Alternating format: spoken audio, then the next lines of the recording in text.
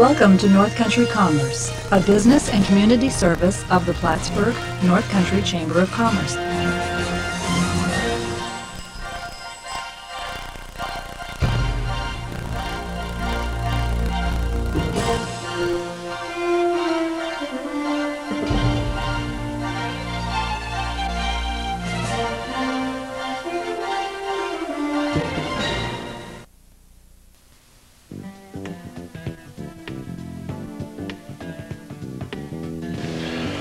North Country Commerce is proudly sponsored by Partners Health Plans.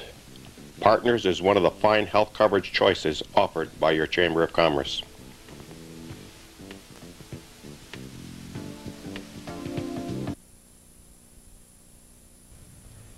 Champlain National Bank. Local business, local bank. It just makes sense.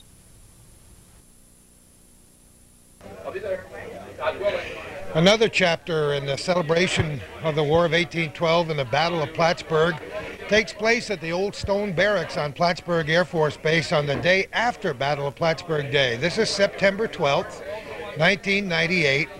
What's going to happen here today is Assemblyman Chris Ortloff is going to make a presentation of a replica of the Saratoga, which fought in the Battle of Plattsburgh, from the Lake Champlain Maritime Museum to the Plattsburgh Interpretive Center, which you can see in Plattsburgh City Hall. Since the old stone barracks on the former Plattsburgh Air Force Base is such a landmark and uh, has such an important part in the history of the area, the ceremony was determined to be held here all of this uh, wonderful celebration that you've seen in our previous program where the anchor from the Confiance was raised at precisely the same hour 184 years later is leading up to a grand bicentennial celebration which will happen around this time in the year 2014. Somebody told me yesterday I'll be there in my wheelchair and I said yes and I'll be pushing the wheelchair. So that's what we're doing here today. Uh, we hope for a nice crowd to get started. We uh, the weather is not nearly as good today as it was yesterday at this time.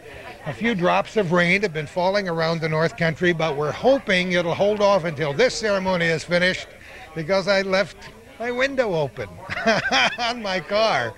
A lot of the same people who were with us on the Juniper to share that great celebration yesterday will be here again today, and you'll be viewing the entire picture. And this is the beginning of a program that we hope will include some of the reenactments to take place at the Kent Delord House, perhaps a little visit again to that great interpretive center to see where the Saratoga is going to be ensconced from now throughout the rest of history.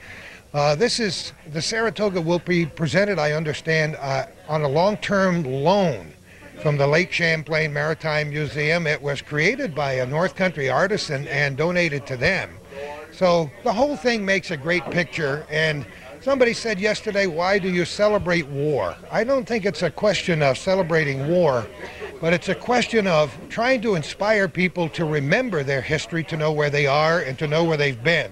I saw interviews with Colonel Dave Fitz-Enz that were done in the local media as a result of yesterday's activity with the anchor, and that's precisely what he said. And he is a historian par excellence, having written a book on the Battle of Plattsburgh in this era and having spent the last two years of his life researching for this tremendous videotape that many of us will have an opportunity to see for the very first time today at uh, the Hartman Theater at Myers Fine Arts Building on the campus of Plattsburgh SUNY.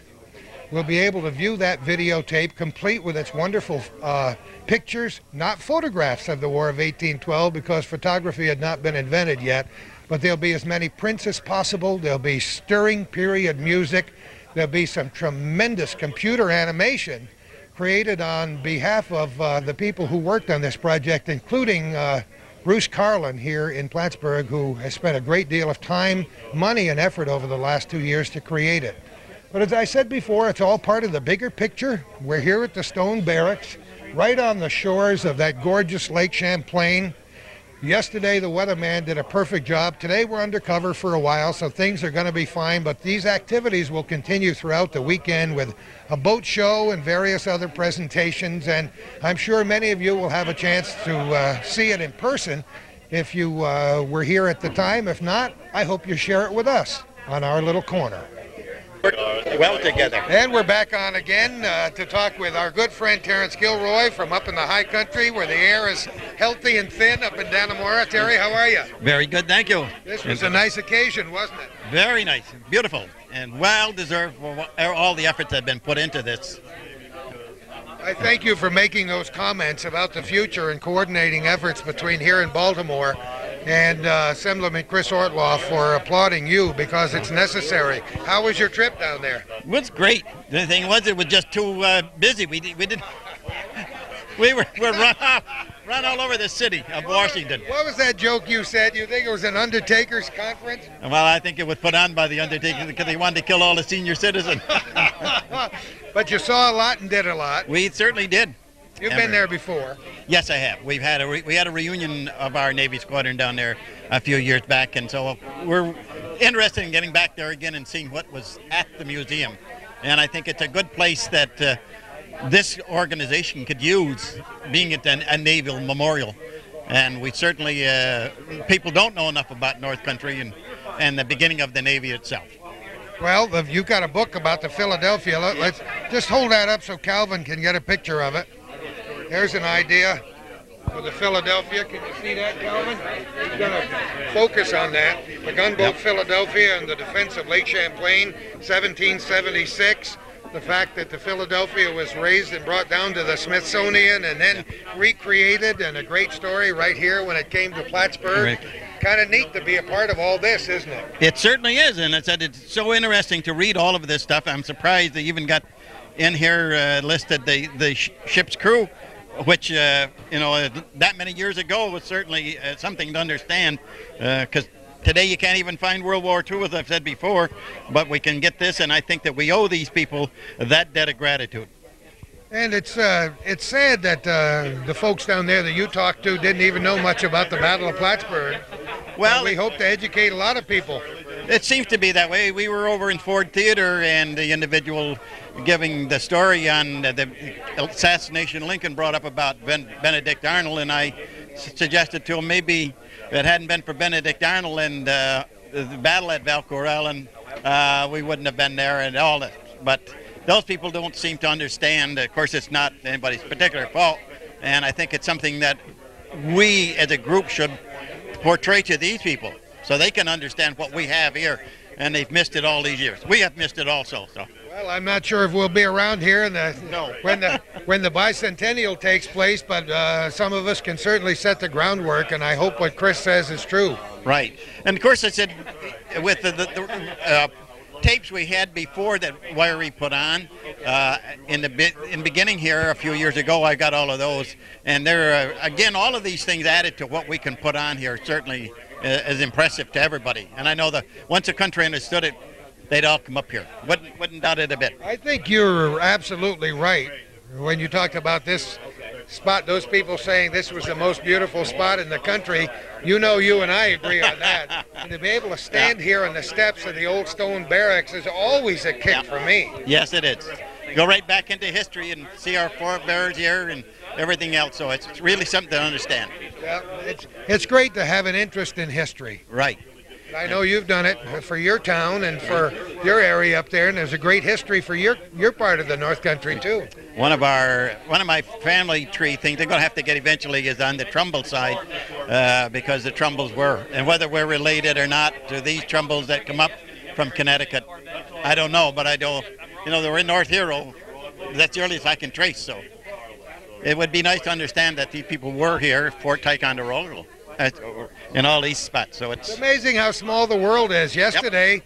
we began, Calvin and I began our coverage of the raising of the anchor by talking with Shirley Kester of the Historical Society and learned that her maiden name was Little and that she was from the Rochester area where the Littles, who were my ancestors, oh. settled. So it's possible back about two or yeah. three generations, our genetic paths cross. So the, it's a small world when you get into it. Certainly is. Yep. Very good. I commend you people for doing all the work you do to preserve this history that we so richly deserve. We believe it has to be done. Terry, thanks for your contribution too. You're welcome. Thank you both. Thomas Macdonough Russell the fourth. What a title! How can you carry that around with you? Good morning. Good to be you? good to be here. Uh, I I go by Tom Russell uh, back home uh, up here for introductions.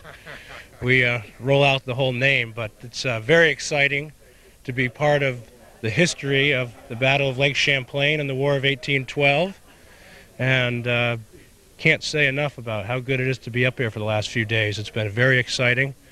Uh, I've just uh, been laying in bed thinking, uh, flashing back 200 years, and you know, last night I was thinking about how the the cannonballs had hit that anchor and made a dent, and uh, there's just a lot of close action going on then, and uh, those men had a lot of courage to be fighting that close. You know, it's exciting enough for those of us who are not directly connected with it. But you have a genetic memory that's right in line from the very beginning, and that's uh, got to be exciting all by itself. So those flashbacks you're getting are probably way more authentic than ours are. that's kind of fun. Yeah, well, I I think the uh, we've been discussing this morning here at the uh, what's what's the official name of this The location? old stone barracks on the former Plattsburgh Air Force Base. This is my first time here, and I've, I am very impressed with the panoramic view and the potential for a museum and interpretation center here. I, uh, I look forward to 2014. I was just doing the math last night. I'm 32 now. So I've been doing the math right along. I figure we're going to make it.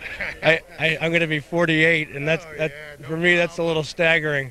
but I look forward to that and, and being involved uh, with the development of, of this. Uh, it, it it really excites me. Growing up, did your family talk about that family history connected with the Battle of Plattsburgh, or is that something that's fairly recent in your own mind? I grew up in a house where there were pictures on the wall of the battle here and uh, portraits of Macdonough and uh, portraits of our other ancestors from the Russell family. They were involved in uh, sailing and trade with the Chinese in the uh, early 1800s.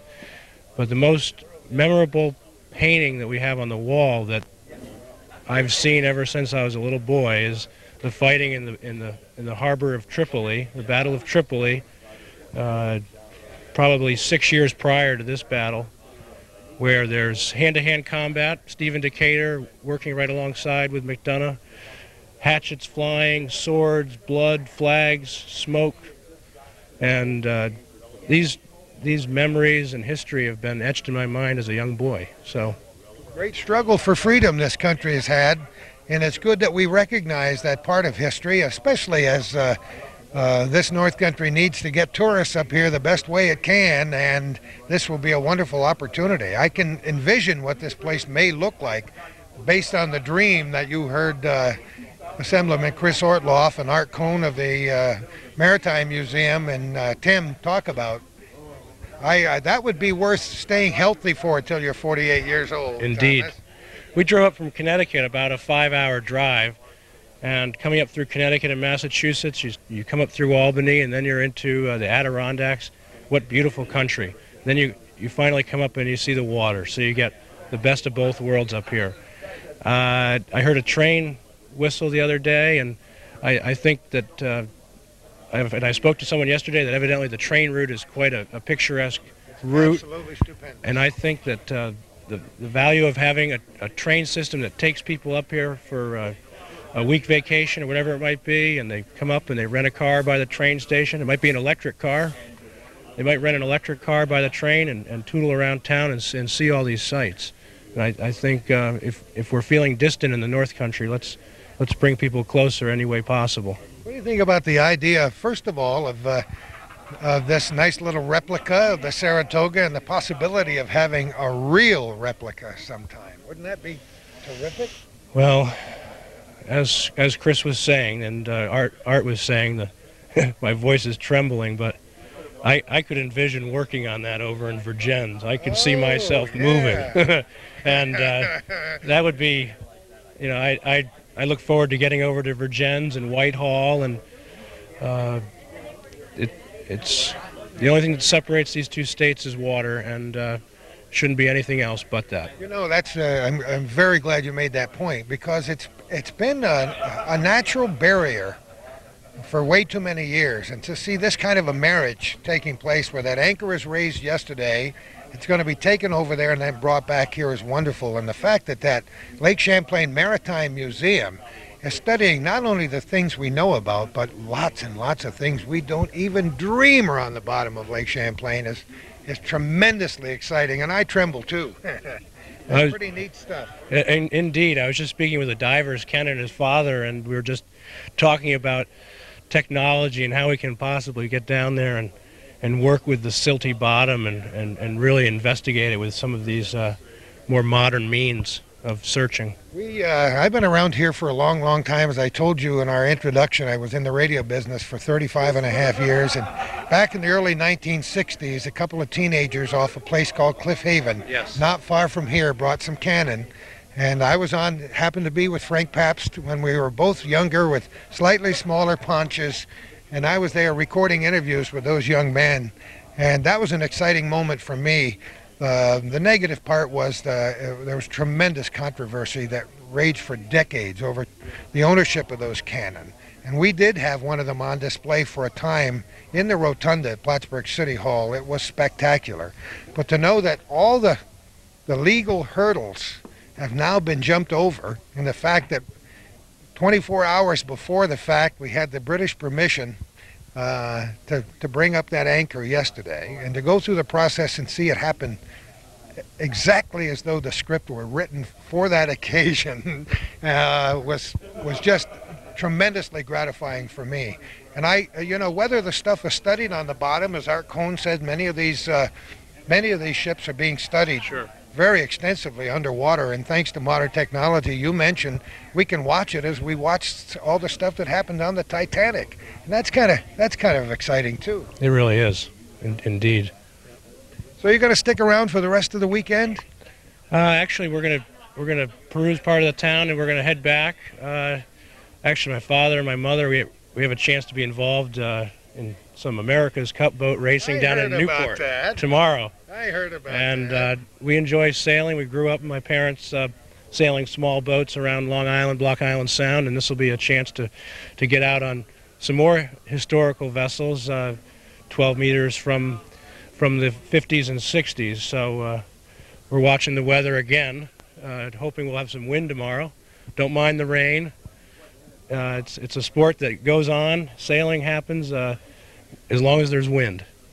Did you uh, actually get to touch that anchor Sure did. yesterday? Did you know I what? didn't ze- even ask permission. Neither did I. Did you uh, did you have any idea what zebra mussels were beforehand? Something very interesting. We noted this time. Calvin and I made a very uh, specific point to mention it yesterday, although most of the other media overlooked it because they weren't aware of it. Understood. Because we looked at that anchor very carefully two years ago, and there were no zebra mussels on it. And the top part of the shaft were covered with zebra mussels this time. It goes to show you we've got a little battle on our hands here in Lake Champlain. First, it was the lamprey eels. We've uh, made a big dent in that problem, but now these zebra mussels are kind of a. But that brings it right home when you bring this beautiful 184 year old piece of history covered with zebra mussels. And the, the curators from the Lake Champlain Maritime Museum were a little bit taken aback when they saw that, too. That's kind of amazing, isn't it? Yeah, I'm, I've again, I uh, I work in the marine industry, so I, I deal with a fair amount of marine uh, concerns throughout the country, and I, I knew that there's been a big problem in the Detroit area and, and Lake Erie. And uh, I mean, I'm not a microbiologist, but it seems as though they have the ability to spread, and uh, hopefully we can control that. Yeah, they clog the intakes and all these water systems, and uh, quite a problem. Anyway, Thomas, thank you so much for being a part of this history this weekend. Thanks for having us You're welcome back here anytime you want to be. Excellent. Thanks very much. Have a, have fun sailing. Enjoy the day. See you later, Take Tom. care. Well, we've changed venues a little bit from the old stone barracks on the former Plattsburgh Air Force Base and uh, the transfer of a replica of the Saratoga to the Interpretive Center from the Lake Champlain Maritime Museum. And now we're in front of the Clinton County Historical Museum. I've been here long enough in this town to see this museum in several different locations, but it's so great to see it here in this historic building. How are you today? I'm very well, thank you. Oh, don't you love that accent? It's a Yorkshire one. Is it really? Yes, maybe covered over a little bit now, but Not covered over very much, Uh-huh. though. Tell us what you're doing here today. well, I'm going to take care of the sick and the wounded. Uh, I said from both sides. What a nice thing to do. Yes. Because this building was used as a as a yes, hospital. yes, it was. It was in the basement. Uh huh. Um, it was. Someone was just saying it was before the days of Florence Nightingale. So we really weren't nurses. We're just the women who were around the, the town were the ones who would take care of the sick. You could be our Florence Nightingale for the day. Okay, I'll do that. I don't know if that period costume is waterproof or not, and I hope we don't have to find out. I hope we don't too. But uh, there's always the the cover there. We can go under the cover and take the wounded under the cover. Looks like we got a little activity out front that uh, those tents look more modern than uh, They do, don't they? the We use our 19th imagine. We use our imagination a little bit, I think. Uh, have you been involved with this group for a long time, or were you just recruited for today? No, I've really, I belong to the Historical Society, but not really been active, and so I was recruited for today. But, uh, well, willingly, willingly. I thought it would be a fun thing to do to be part of this reenactment of the, the battle. I think it's absolutely charming. Thanks for And talking I love with to get us. dressed up too. I It's kind it. of Don't we all, yes, yes. Thanks so much for talking with us. Good Have a great day. Thank you, and you too. We're in a field next to the famous Kent Delord House here in Plattsburgh uh, for an encampment, helping to celebrate this uh, War of 1812 Battle of Plattsburgh weekend. And uh, we're going to meet a gentleman who was part of a very important group back then. What's your name again? Albert Smith, Glad to have you here today, Al. Uh, who do you represent? the Voltigeur Canadien, which is part of the British militia force that actually were headquartered in the Kent Delord House during the War, War of 1812. We've seen some of the encampments before, but this is uh, the first time I think your group has been here, maybe in a while. Um, actually, it's a new group. We started this last year. Uh, most of us do other time periods at the same time, Revolutionary War and French and Indian War, but uh, the opportunity was provided us last year to participate in a movie in, in Canadian production. And we went forward with the research that we'd already taken care of the last five years before that and finalized the uniform and the bearskin hats and the accoutrements and everything. The bearskin hat. It, it uh, got my attention coming down the street, I'll tell you that. I It said, is. that's either a great hat or a wild hairdo. No, it's a bearskin, but it's very warm in this kind of weather like today. Oh, my goodness, look at the sweat. No wonder. Isn't that beautiful? Did you uh, did you actually make it, or Uh, no, one of our friends in New Hampshire made it for us. Uh, we gave him the specifications and he made them up. Some people uh, are so serious about this that they do actually learn how to make their own uniforms and learn how to make the shoes, and Well, others find somebody else. well, unfortunately, I'm not good with my hands. No, So I usually find somebody to make something, or I contract it out, or I buy it at a, a sutler, which is the traveling merchants that fall around the armies in those days. Is it pretty authentic? Everything I buy usually is based on any any kind of research I've either done personally or I know the research is based on something actually in a museum or an archive or a text document or something like that. Is this the best way to, to study history by actually getting involved in it? As far as I'm concerned, yes, because then you don't have just the static exhibit that you have at a museum where you're not allowed to touch, feel, or smell. In an encampment, uh, children, adults can smell the gunfire, smell the cooking, smell the camp life. They can see the actual things that were used and how they were used if somebody was using something. So you use all your senses basically when you go to an encampment of this size. What a great idea. How, how many in your group did you say? Well, this weekend we're only about five or six this weekend, but uh, we're we're about 20 of us last year. But uh, since everybody's split up around New England, Canada, and Ontario, so it's kind of hard to get everybody together. You think the group, uh, your specific group, will grow? Hopefully, because like I said, uh, it's a new group. We just started basically. Uh, we've got five or six here this weekend, and maybe next year we'll see a few more of us. You never know. But it's fun. You do it. You're planning to tr- do a little traveling with it. Uh, not necessarily with the Voltigeurs because it's basically a unit that was basically located up and down Lake Champlain, uh, Richelieu Valley area. So I don't think we're going to travel too far with that. That's kind of kind of neat. Uh, what else did you bring besides yourself and your friends? Did you bring any equipment with you today, or Oh yeah. uh, this is all your stuff? Oh yes, mine and my ladies. She's out shopping right now. Oh, she is. Can't blame her for that. Yeah. That's great. Al, thanks so much for talking with us today. Best of luck with this. It's a great unit. Okay, thank you. All right, we're moving around the encampment here on the celebration of the uh, weekend of the Battle of Plattsburgh and the War of 1812. Who have we, who have we got here? Ken Grant from uh, Eliot, Maine. Ooh, you're a little ways from home. It's only three and a half hours. That's great. Now, what do you represent, Ken? Uh, 15th U.S. regulars, War of 1812. We were just talking about the uh, the clay pipe there. That's kind of decent. Do you smoke a, a pipe regularly or just for this occasion? Um, no, it's not a real pipe, and I'm not really smoking it. Okay. yeah, just I only. And he's not trying to get a four-poster bed either. I know. no, uh, it, it, yeah, it's a real clay pipe, and I, I do only smoke it when we do events. Uh, Civil War, I smoke cigars. Revolutionary War, French War, this war, I smoke a pipe. Whatever it is. If that doesn't get you, something else will anyway, right, Ken. right. Tell, tell us a little bit about how you got into this and why you do it. Uh, don't like mowing lawns on weekends, uh, you know, things like that. So I had nothing else to do. Just an interest in history. Uh, back in 1971, I met a man in a hobby shop in Boston who was uh, involved with militia companies to get ready for the uh, bicentennial, 19, 1976. Yep.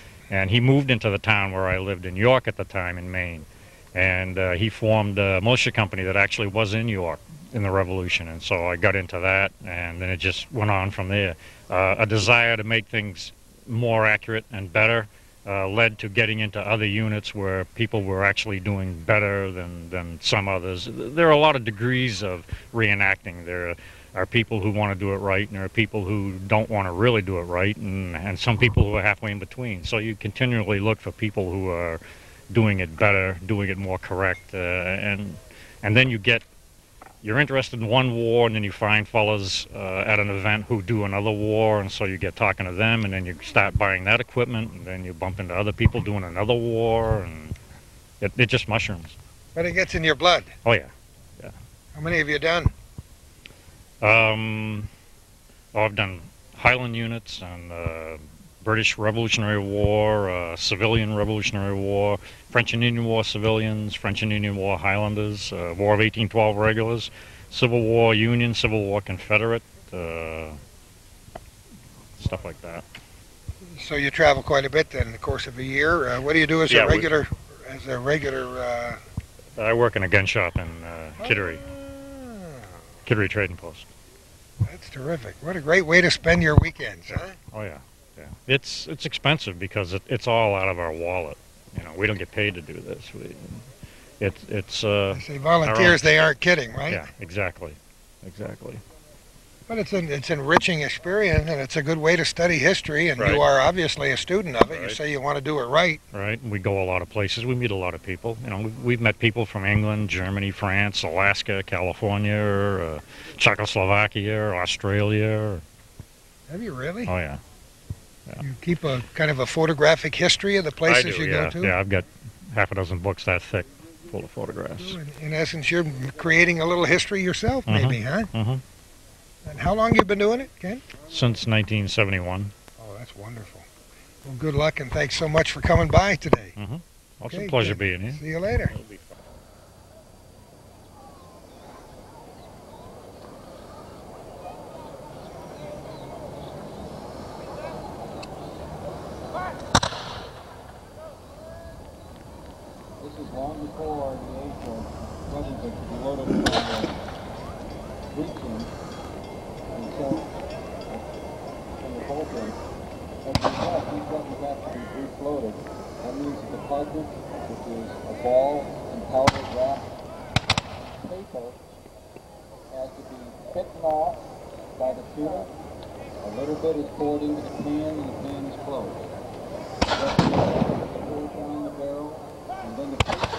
and the ball, which has been held in the mouth, is spit into the ba- barrel of the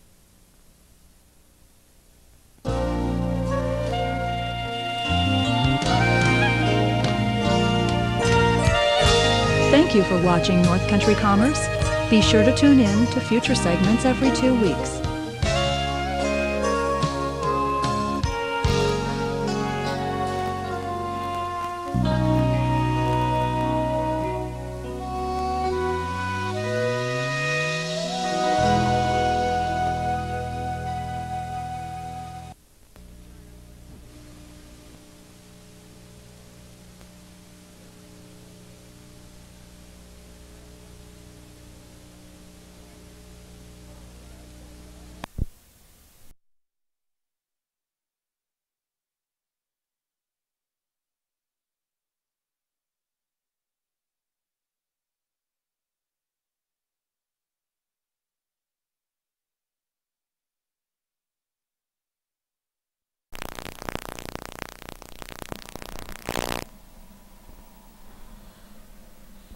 This is Calvin Castine, and I'm over taping a soccer game while this is happening. My son Justin Castine volunteered to tape this cross country meet, Ticonderoga and Plattsburgh High School, visiting northeastern Clinton. Looks like they'll be starting off with the modified, and since I'm not on site to give you a ongoing play-by-play, all we'll do is we'll read you the rosters. We'll give you the rosters for the modified and varsity team, and then when the varsity takes off, we'll do all this over again. We'll give you the rosters once one more time. So here's the list of players as provided by Coach Brian Power.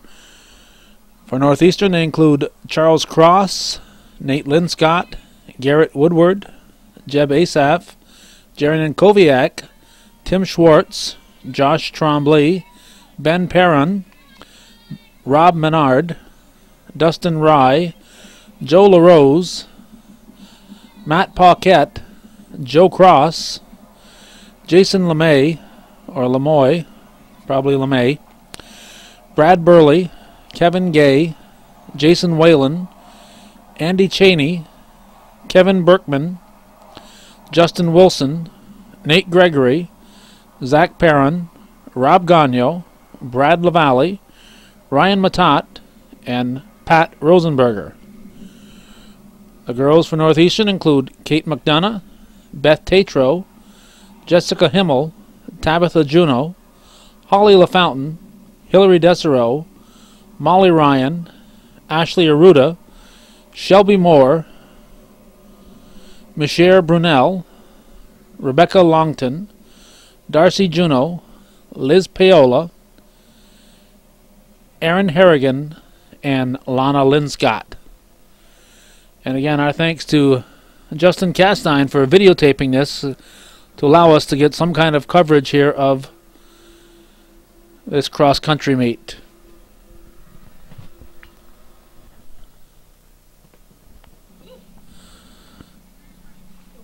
All right, uh, now time for the varsity.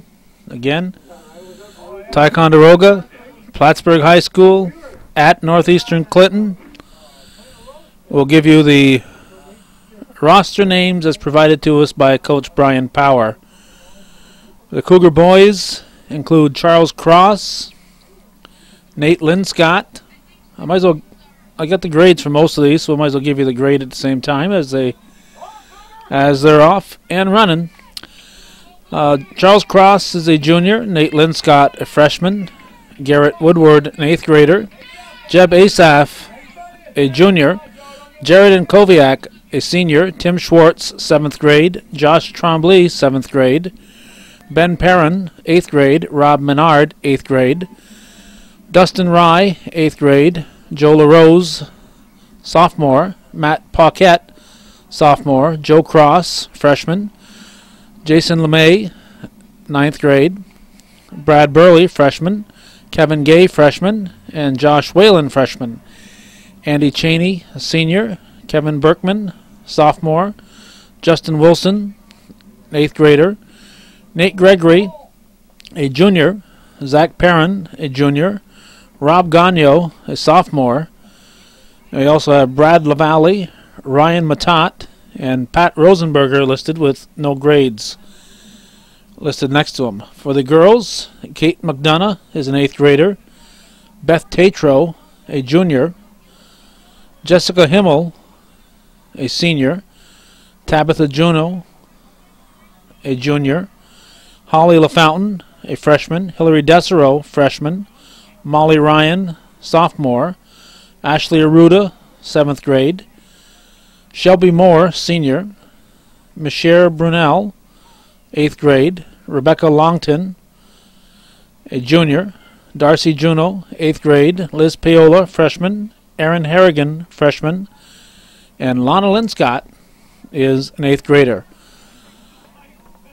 Once again, we don't have any running commentary on this. I was taping a soccer game. Seton Catholic was visiting uh, Northeastern Clinton. I think this was the day Seton Catholic was visiting, or either they or uh, Northern Adirondack.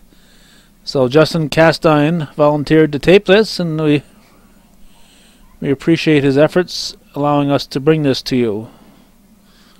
And if you listen real close, maybe you can hear him cheering the the parents cheering for your, your favorite runner too.